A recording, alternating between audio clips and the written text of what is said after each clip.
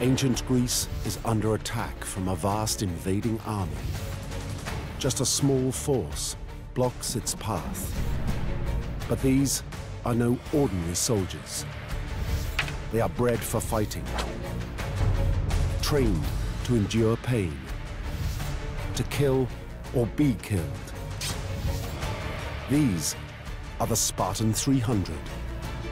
The Spartans were without doubt the elite troops of their age. Advance! They attack in close formation. They moved relentlessly, like a tank, at the enemy. It's a killing machine. It was a bit like being fed face first into a mincer. This is the true story of the Spartan 300's toughest mission. To save Greece from the might of the Persian Empire.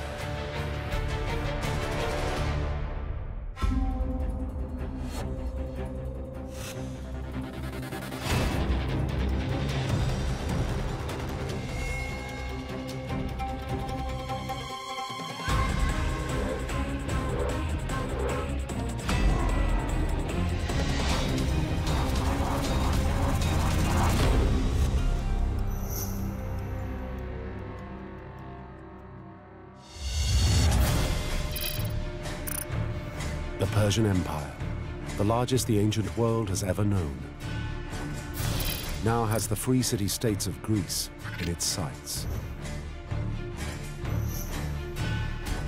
Athens, the birthplace of democracy, is about to be overwhelmed by the Persian hordes.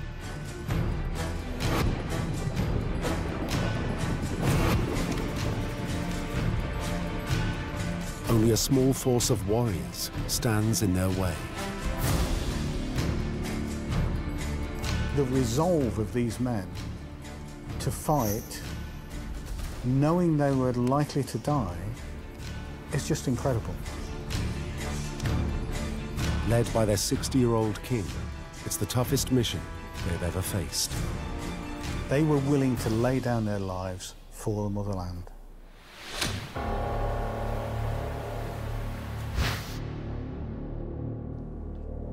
At dawn, a Persian scout is sent to spy on these men.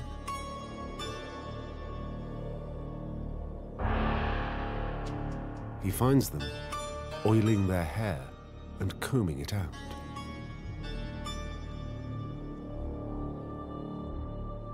To the Persians, it looks ridiculous.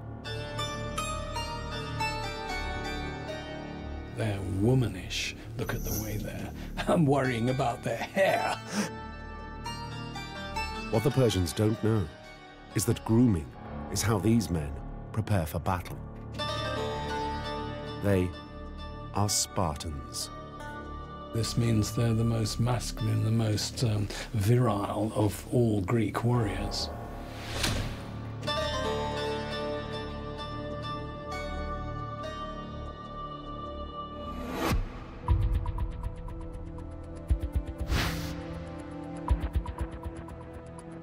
Spy brings news of these girlish soldiers to his emperor, Xerxes. He can't believe that these effeminate men are a threat. Xerxes demands that they surrender. They've got absolutely no chance. Give up. What's this all about, guys? And um, lay down your arms. But that's the one thing Spartans never do.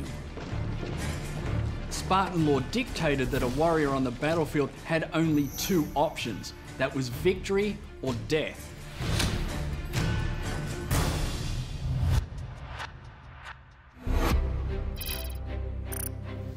These Spartan warriors come from a rugged, mountainous region.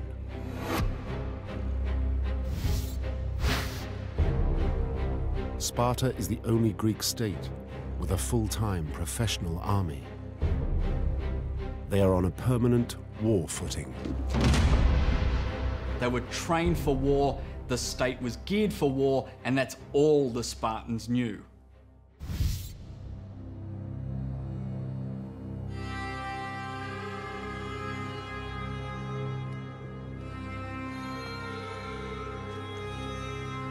Sparta's militarist regime starts at birth.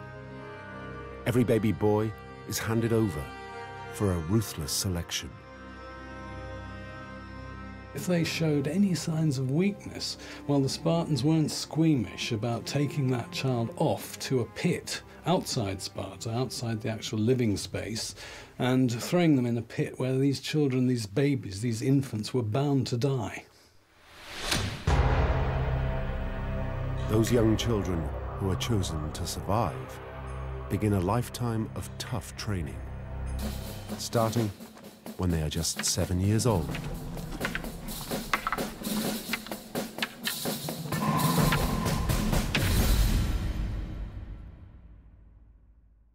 If two boys are fighting and one of them shows a sign of weakness, it wasn't the young boy who got punished for crying out and breaking the code, but it was his older mentor.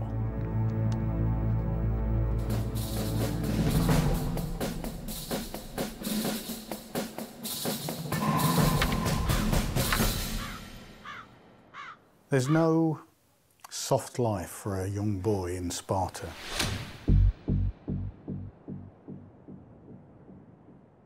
Whatever the weather, they go everywhere barefoot to harden their feet. The system was designed to instill obedience, endurance, resilience, and everything else that the Spartan warrior would need on campaign.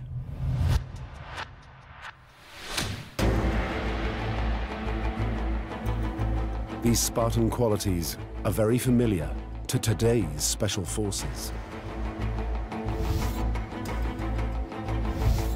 Ken Jones is a former soldier in Britain's elite SAS. Like the Spartan youths, he has been trained to push through the pain barrier. I draw upon a, a, deep sense of pride to keep going and to push myself. And, you know, uh, pride at my soldering ability and uh, uh, I try and draw strength from all the training I've done and past experiences. I just fill my head with all these maxims like pain is temporary and, you know, it's just weakness leaving the body and you just try and push yourself on. It's this resilience that they are brought up with to endure pain in all of its forms, whether physical and psychological, that make the Spartans some of the best warriors in the ancient world.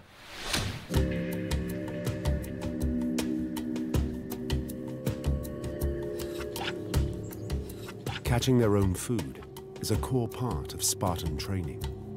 The boys have to become self-sufficient, relying on their survival skills. This self-reliance means that they're an army that can exist in the field where others would want to withdraw.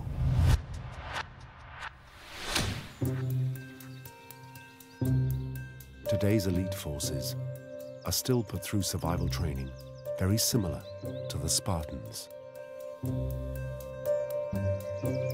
Soldiers are basically self-sustained for one week where they can only eat what they can catch rabbits, pheasants, or whatever, uh, pick berries or any food they can forage or steal.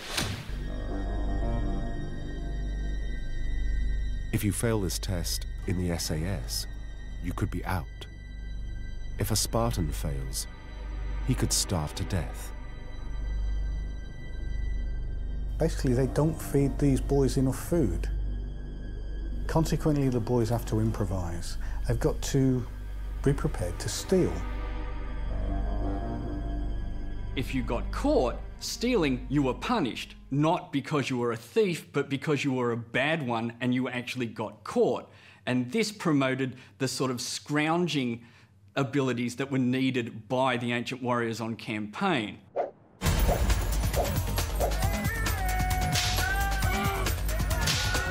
The idea of not getting caught is reinforced in a brutal ritual held every year. The Spartans had a festival which roughly sort of translates as the Steal the Cheese Festival.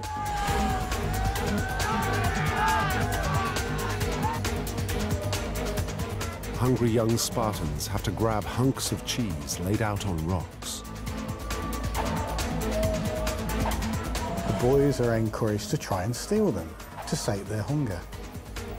At the same time, though, there are burly chaps with whips and, and cudgels who are waiting to deter these cheese thieves. It teaches them stealth and skills of approach, skills which are going to serve them well when they're facing an enemy. The aim is to condition them for the brutality of battle.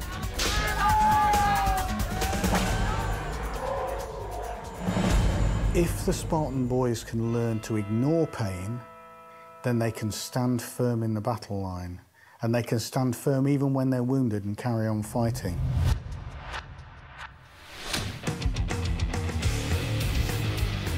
Resilience. Fighting through pain. Without fear. Supreme fitness. This is the stuff which marks out special forces through the ages. From the Spartans to the Navy SEALs, it's a direct line. When you come out of training as a SEAL, you're probably in the best shape of your life. You're really like a world-class athlete who's a warrior, first and foremost. The guys are extremely fit. Their mindset, their combat mindset, is unbreakable.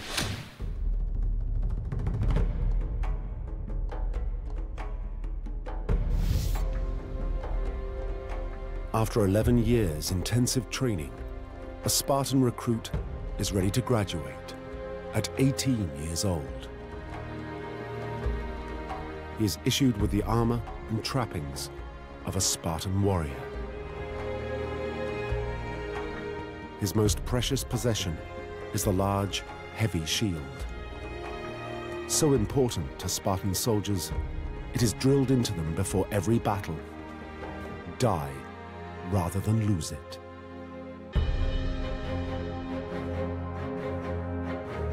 The mother says to the son, Come back with this shield or on it. In other words, come back carrying your shield in victory or being carried on it dead.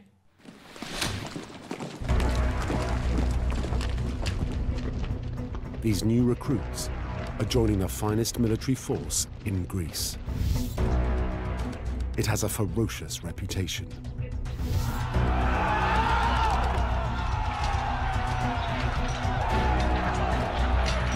They were terrifying. Quite often armies would see them and melt away. Spartans marched to the fray very deliberately.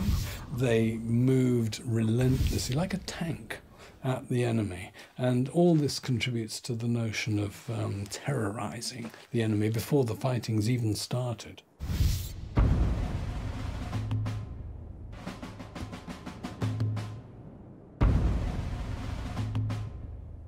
Joining the army is only the first stage. Every year, the most fearsome warriors are selected to join the elite Spartan Special Forces, the 300.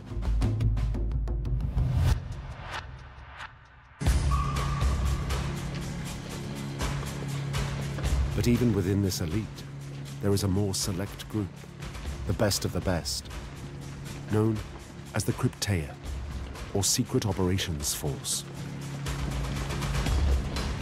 These guys are the elite of the elite within the Spartan military system.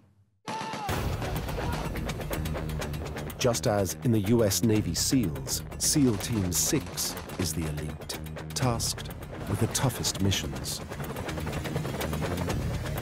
You know, some people say SEAL Team 6 are the best of the best. When it comes to close quarters battle, there's probably nobody better on the planet. All they do is close quarters battle. Discover the past with exclusive ancient history documentaries and ad free podcasts presented by world renowned historians from History Hit. Watch them on your smart TV or on the go with your mobile device. Download the app now to explore everything from the wonders of Pompeii to the rebellion of Boudica and the mysteries of prehistoric Scotland. Immerse yourself in the captivating stories of this remarkable era by signing up via the link in the description.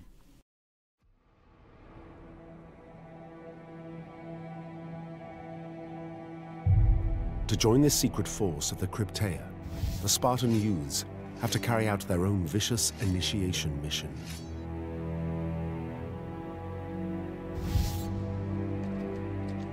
They are ordered to kill a member of the Spartan servant class, the Helots, who do all the manual labor in Sparta.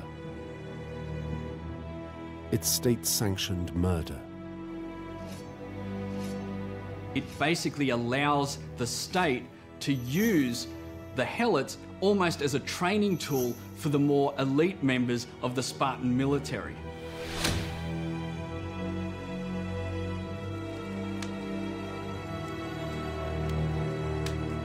For a would-be member of the Krypteia, concealment is crucial. If he gets caught, he fails. Some things have remained constant throughout the ages, and camouflage and concealment is an essential element of warcraft and uh, and uh, uh, no survival in the battlefield.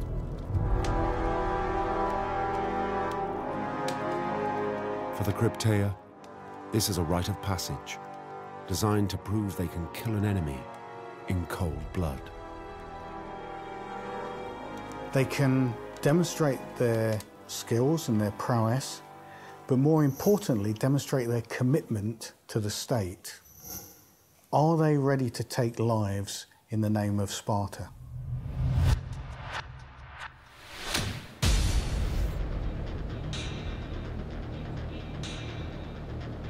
Today's elite forces are still trained to be ruthless, to switch off any sympathy for the target. You detach any sort of human association with them. The fact that they've got a family and they're, you know, a living, breathing person, you see it as, as a distinct target and, uh, you know, it becomes easier to objectify it and to kill it. But modern warriors have it easy. With a rifle or pistol, they can kill at arm's length.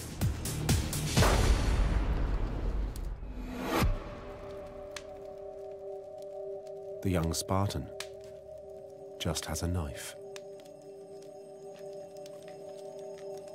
It would have been very difficult to get one stab and then slip away, so it would need speed, aggression and surprise, the SAS acronym. He needs to have physical force behind him to try and floor whoever he's assailing.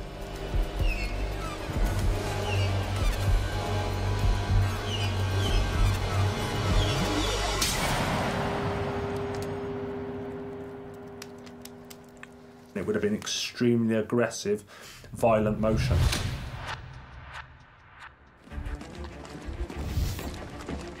To kill without flinching.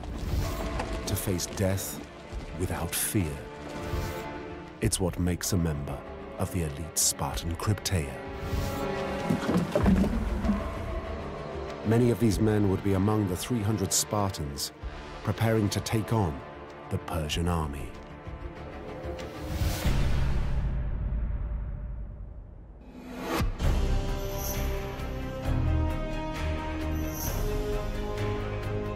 Massive force invading Greece is led by the Persian emperor himself.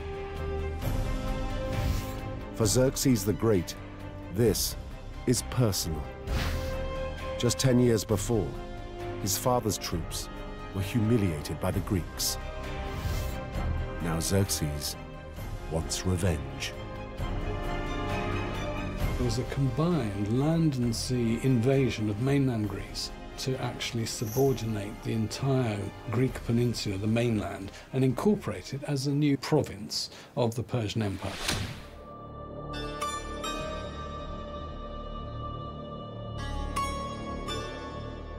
It's a major crisis for the Greek states. They don't have the troops in place to confront the Persians. The Greeks summon a council they desperately need time to assemble their forces. They turn to the Spartan king, Leonidas, the commander of the only professional force in Greece. Eventually, the council comes up with a plan.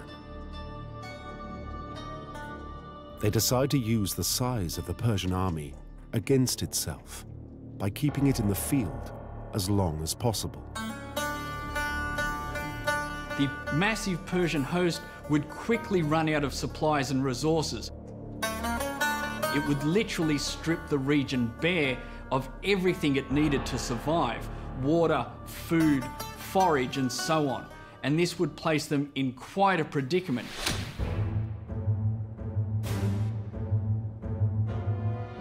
The key to Leonidas' plan is finding a location he can hold, somewhere the Persians can't bring the weight of their numbers to bear. The place he selects is a natural choke point between Mount Kallidromon and the sea, known as Thermopylae, or Hot Gates, because of the thermal springs nearby. Here, the only road south narrows to a path just 20 meters wide along the beach. It's an ideal position to defend.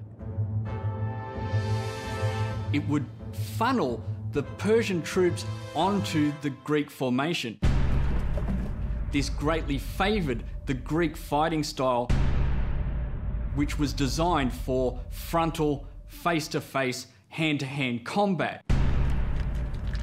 What they didn't want was a position that could be outflanked where they could be hit from all sides.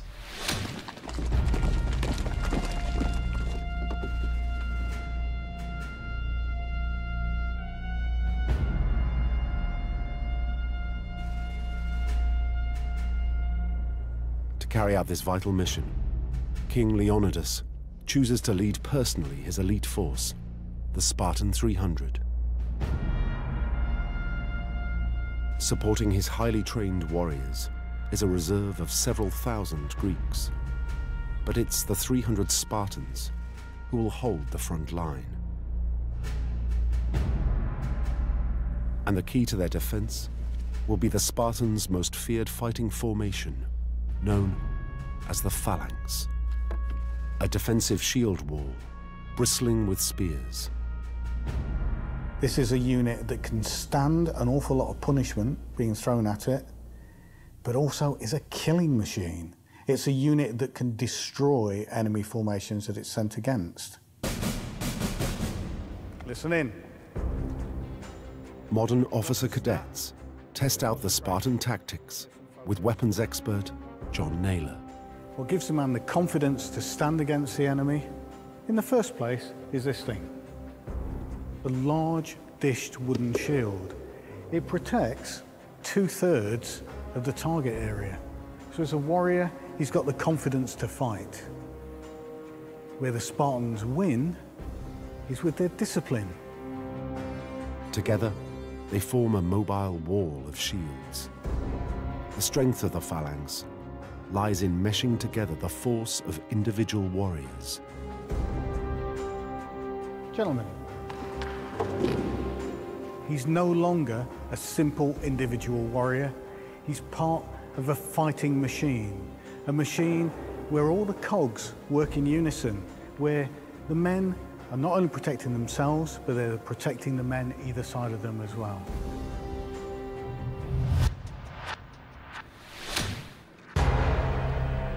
If the shields are the defense, it is the spears which do the killing. Spartan's primary weapon is their spear. It's got an extensive reach, so much so that even the second rank can still engage and deliver a killing blow.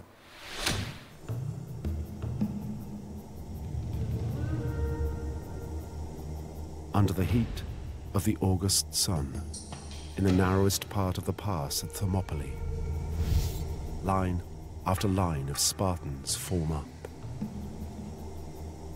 Their phalanx is some 35 men wide and eight or nine deep. As they wait for the Persian attack, they will be feeling the same surge of emotion that today's soldiers feel before going into action.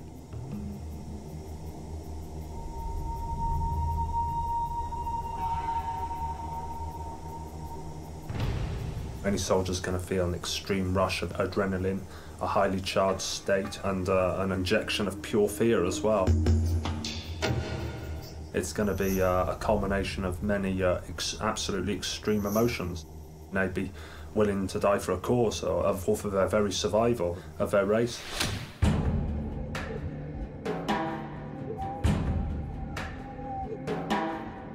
As the Persians approach, there is just time for King Leonidas to remind his men of their duty as Spartans.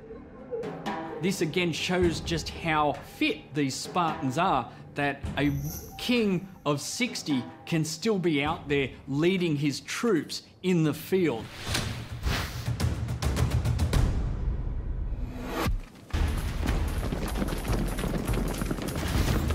The Persians launch their attack. Wave after wave of infantry storm into the narrow pass. Xerxes sent in first, not his absolutely crack infantry troops, but the second division, as it were. I mean, not far below, but below the absolutely tops. It's thousands against 300. The Persians expect an easy victory.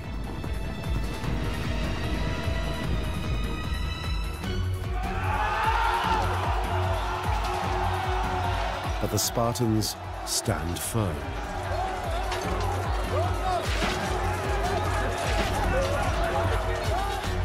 For the Spartans, it's like a training exercise. These guys are lining up to be killed. Because there's one and a half spears aimed at every single Persian. And the Persian might deflect one, and that's where the canny switched on Spartan just to the side. That spear licks in, and that's another kill. The style of combat that the phalanx engages in is some of the most brutal seen in any age. Most of your opponents are less than two meters from you. You'd be able to hear the screams of those that you attack. You would feel the weapon impacts as they penetrated into an enemy's body. It was a bit like being fed face first into a mincer. Before you know it, the Persians are fighting in pools of blood over the bodies of their fallen comrades. They haven't even got stable footing to attack from. It's a killing zone and it just becomes a mechanical slaughter rather than warfare.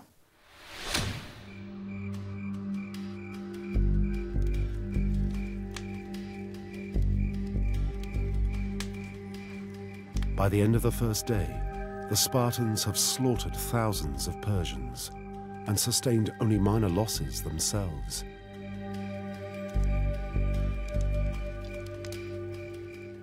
Leonidas and his men are confident they can hold on. For the freedom of the Greek states, every day counts. But then, Leonidas hears some troubling news. There is a secret path across the mountains above Thermopylae.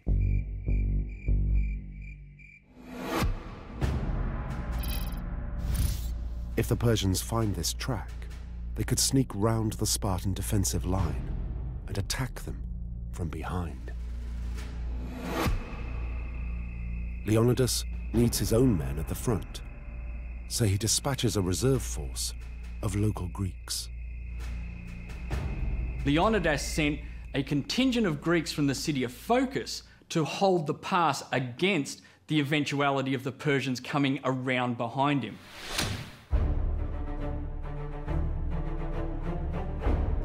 The next morning, the Persian emperor orders fresh troops to prepare to attack. And these are not ordinary soldiers. These are his best men. Xerxes ends up with only one choice. He's got to commit his own elite special forces to try and counter the Spartans. In this case, it's the Immortals. these are seriously good fighters, and they are the, the elite, they are the crack troops of the enemy. They were called the Immortals because they were 10,000 in number, and whenever a member of this contingent died, he was immediately replaced so that there was always 10,000 of them. Again, the odds are high 10,000 against the Spartan 300. But the Immortals' reputation doesn't worry the Spartans. They welcome the new challenge. This was their chance to prove to the Greek world and the Persians exactly what the Spartans were capable of.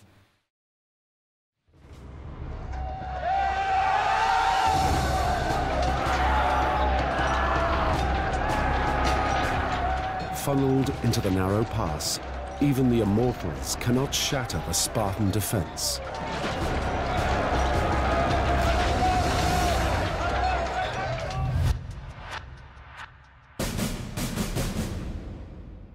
Majority of the Persian spears are less than two meters long and they're lighter. When you're faced with the Spartan two and a half meter long spear, you simply can't get by this wall of spear points.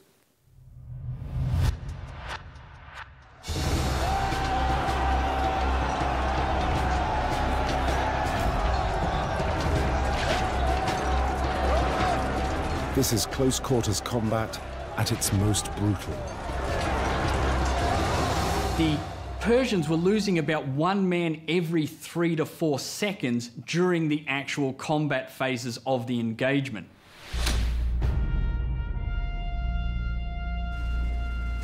But the battle takes its toll on the Spartans as well. Combat is always horrific. The pressures on the body are immense. Your mouth becomes dry. Your heart's thumping. The acids build up in your muscles. Most people can only fight for a few minutes at a time before they need to take a breather.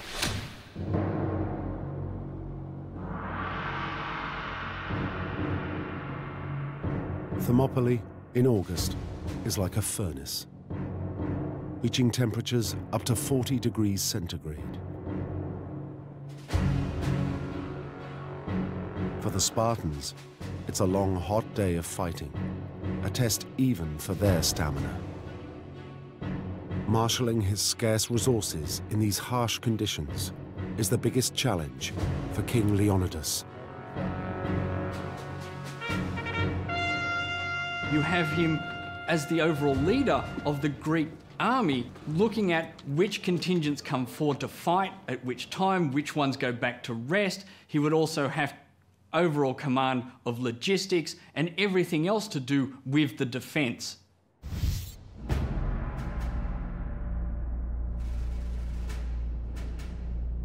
Water is one of his top priorities.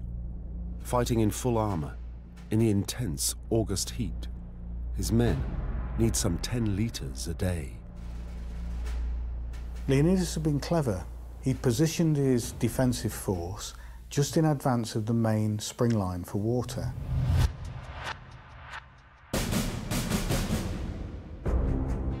Prepare to advance. Advance!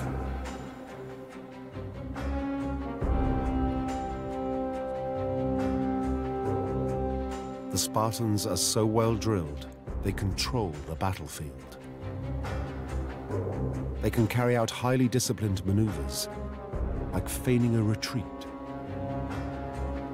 There is a large amount of bodies piling up in front of the Spartans. So, what the Spartans do is they retreat back a small distance. Prepare to retire. Retire!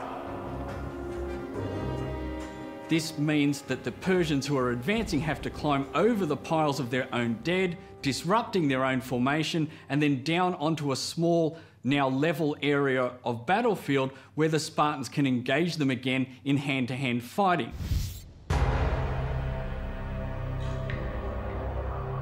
The Spartans, falling back, can instantly reform that shield wall, that wall of metal and sinew and muscle and wood, a solid object for the enemy to hit against, and then simply kill a few more.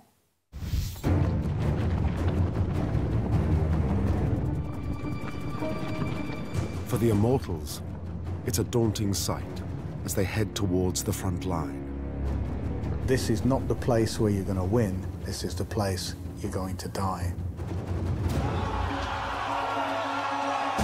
For the whole day, the two elite forces clash, neither prepared to give way.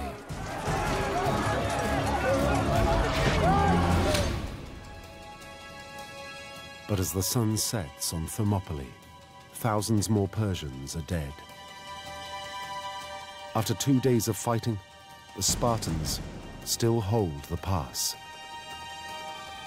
They just need to keep their discipline and their nerve. But that night, catastrophe strikes. Xerxes is approached by a local Greek who belongs to a people which has not joined the resistance. And as often in Greece, neighbours don't get on well.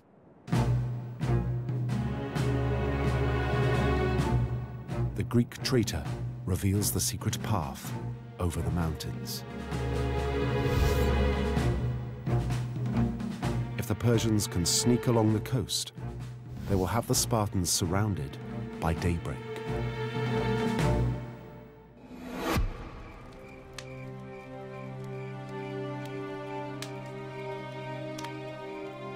In the narrow pass at Thermopylae, Leonidas and his Spartan warriors are exhausted but proud.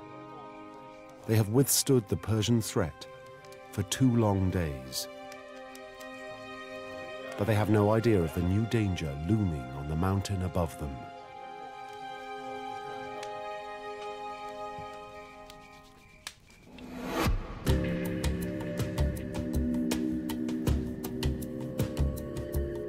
That night, the Immortals begin their climb up to the ridge above the Spartan position. Night missions are almost unheard of in ancient warfare due to the amount of confusion that the darkness can cause, and this shows just how desperate Xerxes is getting to push these Greeks out of the Thermopylae Pass and how effective their holding strategy is actually working.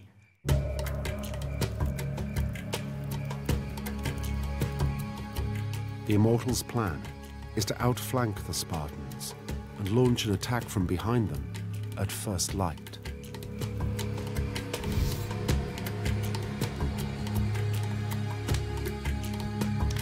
Leonidas thinks he has this route covered, but the Greeks he's placed up on the mountain are not Spartans. They are part-timers. No match for the Immortals. The Persians start to descend down behind the Greek position. Runners from the Greeks holding the path also race ahead to inform Leonidas and the rest of the Greeks that they are about to be encircled. This changes the entire mission. Leonidas received the worst possible news. He was about to be outflanked. His position would be engulfed.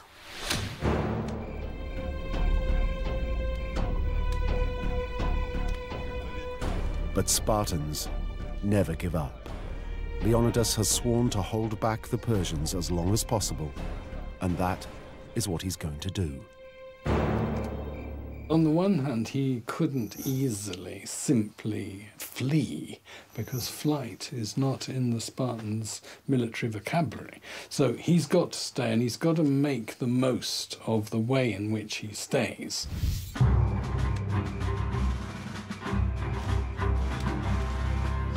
Leonidas realizes he cannot win in open battle. It's now, so one version of the story goes, that Leonidas turns to men of the Crypteia, the Spartans' secret operations force. The plan is to decapitate the Persian army by killing the emperor, Xerxes. Was he simply going out in a blaze of glory? Was he trying to kill Xerxes in an attempt to, as it were, cut the head off the snake in the hope that the rest of the Persian army would wither away and march back to Persia? If you can eliminate the command and control mechanisms, you eliminate the cohesiveness of the army. This will be a mission very familiar to today's special forces. Leonidas is ordering a nighttime assault behind enemy lines with a specific target to take out. To operate at night, you need to be fully alert and focused on all of your senses and your sixth sense as well. So you can be more focused on your surroundings, but also more aware of uh, your own movements and actions. From their base on the beach, the Spartans' most obvious route to the Persian camp is along the shoreline. You've always got the element of surprise, especially attacking at night, and that brings with it a surge of confidence in your ability to get the task done.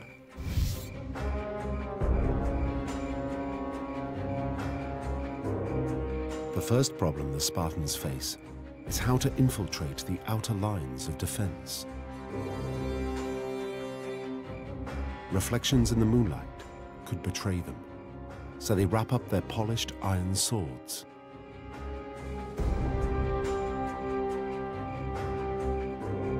This form of combat is exactly what the Krypteia taught the young Spartans as they came up through their educational system. The Persian guards are not expecting any trouble because night missions are so unusual.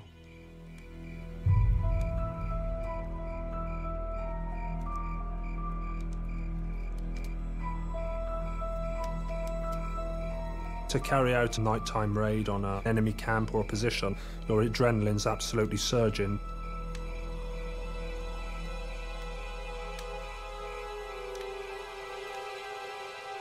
The aim is to get to Xerxes' tent, which would be very conspicuous because he brought his caravan, he brought his slaves, his women, his, you know, that's how Persian kings did it. The Spartans now prepare their weapons. They unwrap their dreaded kopis, a vicious hacking sword. Its short, thick blade can cause horrific injuries.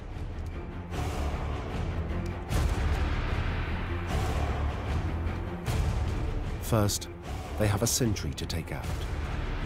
It has to be done with a different weapon. Silently. In classic Krypteia style. With a knife.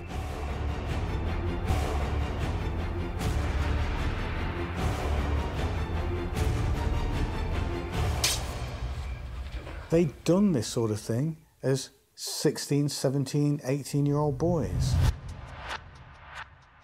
This idea of specific strikes at a single target.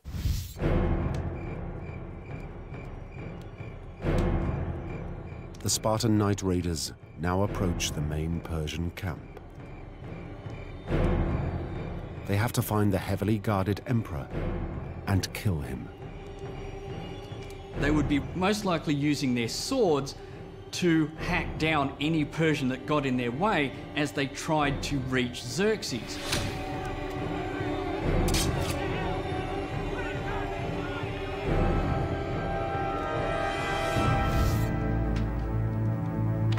Isn't clear what happened next, but the Persian emperor survives.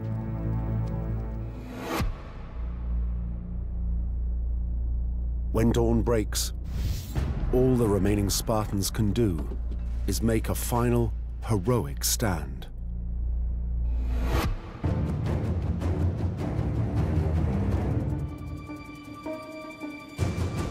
But now the Persians can attack them from both sides. The phalanx is basically useless. It can't take on two directions at once. So the Spartans pull back to a small hill to defend themselves. Prepare to retire, retire. By this stage, many of the Greek spears are broken, so the Spartans and the other Greeks resort to anything they can get their hands on. Stand at ease. When the phalanx breaks up, when the unit cohesion has gone, that's when you need a weapon to get up close and personal.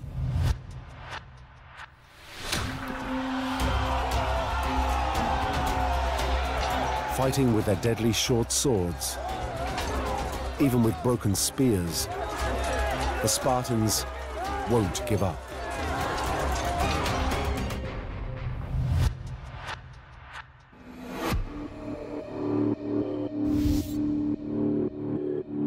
Finally, having now lost some 20,000 men, the Persian emperor decides to finish off the Spartans at a safe distance. He calls in his archers. Even this doesn't daunt the Spartans. Someone says, you know, the Persians have so many archers that when they release their arrows, it will blot out the sun. To which Dieneces, um, we're actually given the name of the Spartan, says, Great, we'll have our battle in the shade.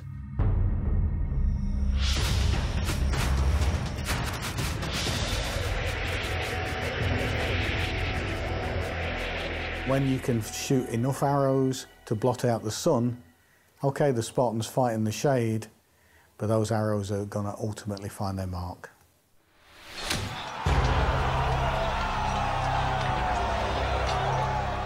Staring death in the face, the Spartans fight on. Leonidas is fatally wounded. The last of the 300 fall around him.